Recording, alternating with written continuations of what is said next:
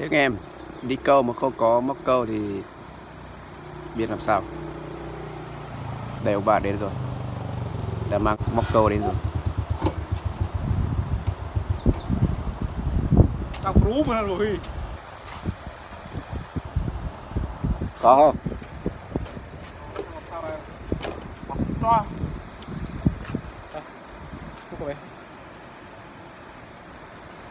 Đây, dây câu và móc đây. Phá quay lại mẹ tí thôi mẹ. Vượt ra khoảng hai cây số để đi lấy cái này. Cả đi cả về hai cây số. Lúc- 200 cây số chứ đúng. Lúc đi thì quên mang. quên mang đồng không cua.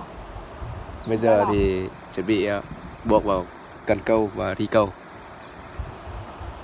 Địa điểm câu là hôm nay là tại suối Bản Gem. Đây là con suối đây. Xem ở đây có cá không. Thử mới biết được. Mời các bạn theo dõi nhé.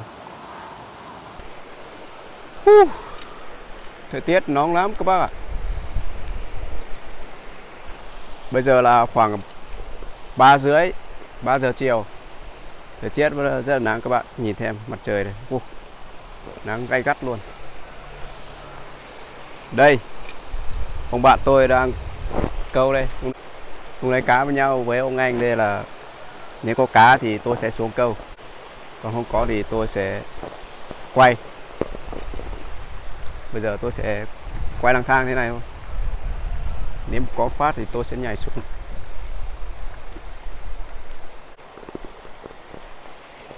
Đây, các bác nhìn đi. Tôi đang đi trên cái bờ đê này này. Vừa đi vừa quay rất là nguy hiểm.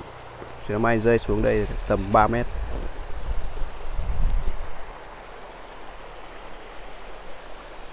Đây ông bạn của tôi đang rất cần mẫn việc câu cá. Toát không?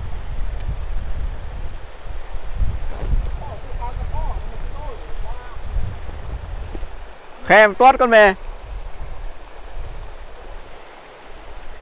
Cái con trọng là có cá hay không?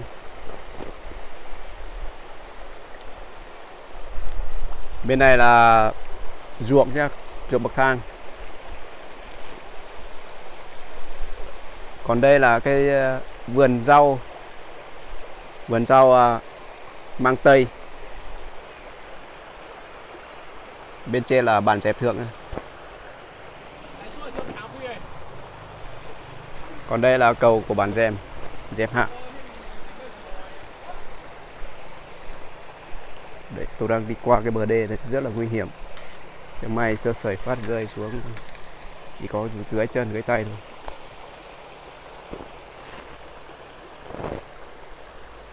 Cho các bạn nhìn cái cầu này.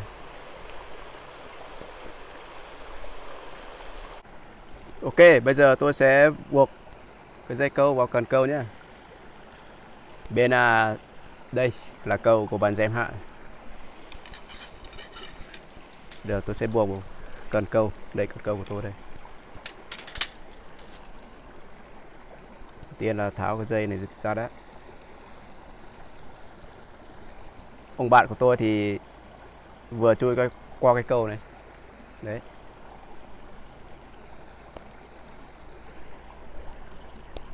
Có cá hay không thì chủ yếu là đi chơi là chính thôi các bác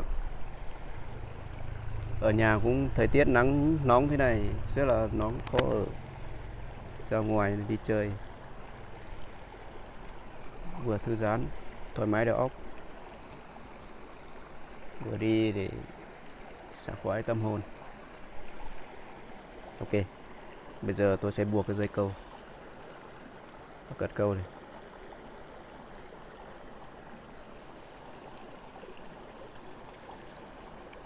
Ở đây có quay móc, ở đây thì buộc rất là đơn giản rồi buộc là thắt nút.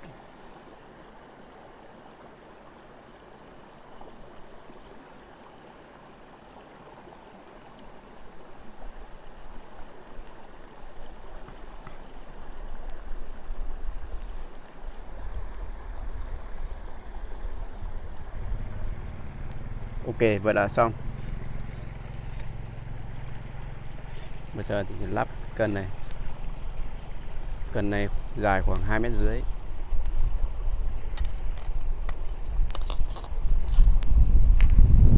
rồi. Ồ cái dây dài quá.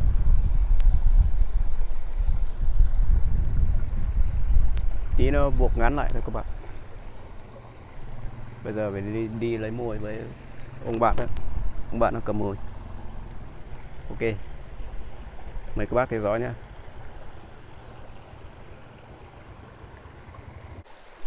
Ngoan sai quên hi chả là hố. Đã. Dây với cần dài gấp 3 lần thế nào như này, câu thì kiểu gì?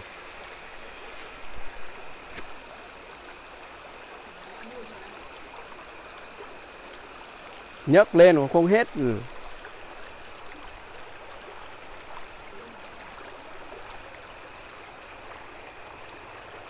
đấy, bây giờ tôi sẽ số câu ở phía bàn xà nhé.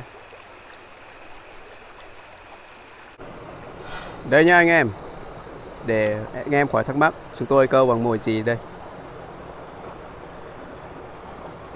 Đây thì các bác. Cái mồi này bằng con à, con mối con mối mà có cánh đây này.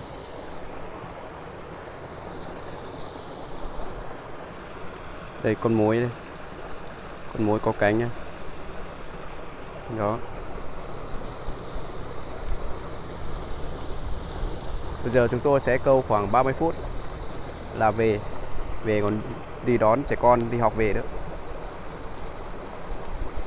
Có không là chủ yếu là đi chơi được các bác?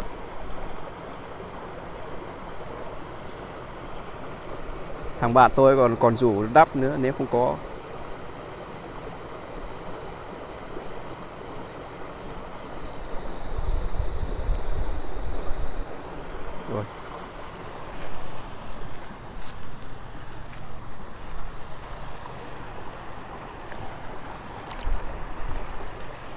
Chỉ đi chơi thôi mà.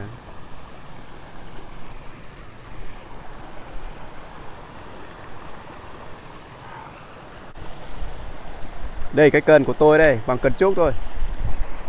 Bằng cái cần uh, ờ, của ông kia thì dài quá tôi không biết câu. Bây giờ chuyển sang cần này thôi.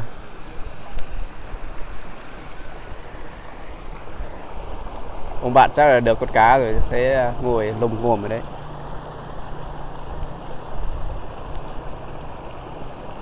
Đấy cái tôm đúng không được ba con rồi à? Thế thì tao chưa được con nào. Kiểu này toang rồi. Đi câu cá không được cá rồi.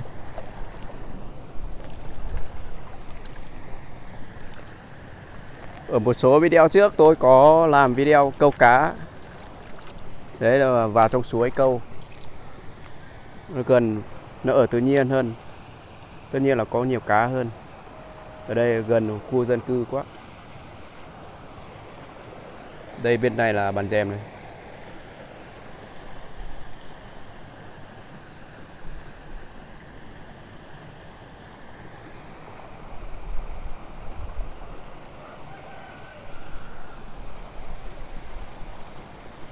Câu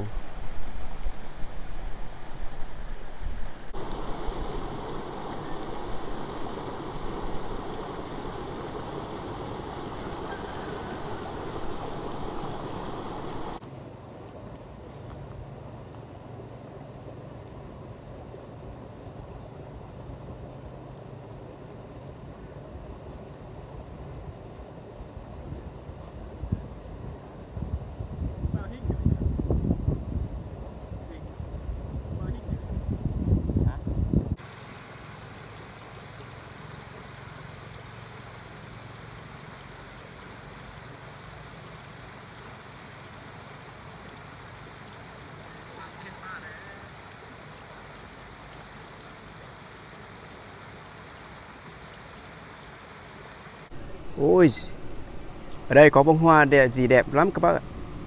Đây hoa màu tím này. À, ôi ôi. Có con chuồn chuồn đậu, đậu trên à, cần câu của tôi này.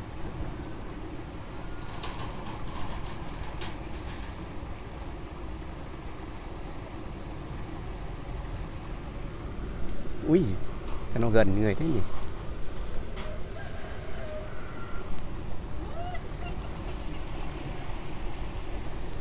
Các bác biết hoa này hoa gì không ạ? Nhỏ nhỏ xíu mà đẹp lắm.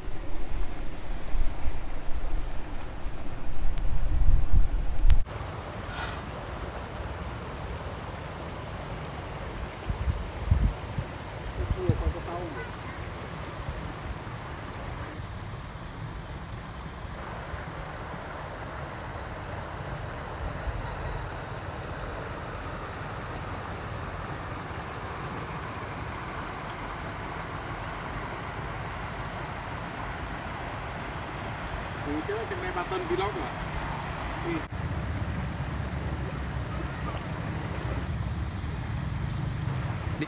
Tình hình là đến giờ đi đón trẻ con rồi. Cho nên là anh em tôi sẽ về nhá. Có gì hẹn gặp lại các bác trong video lần sau. Và các bác hãy ủng hộ bằng cách đăng ký kênh để theo dõi nhé một số video tiếp theo tôi sẽ quay về quay cá, suối suối thật đấy. Đây là suối giả ở khu, gần khu dân cư quá. Vào hẳn trong suối, câu cho sướng. Thế nha. Hẹn gặp lại các bác nha. Chào khán giả.